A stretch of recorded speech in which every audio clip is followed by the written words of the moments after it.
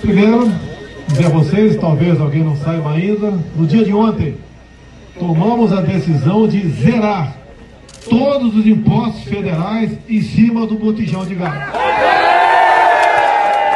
Nesses dois meses, usaremos medidas que possam realmente trazer conforto na questão de combustíveis no Brasil. Anuncio que teremos mudança sim na Petrobras.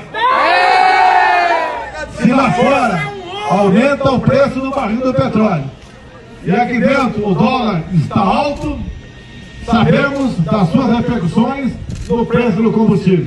Mas isso não vai continuar sendo um segredo de Estado. Exijo e cobro transparência de todos aqueles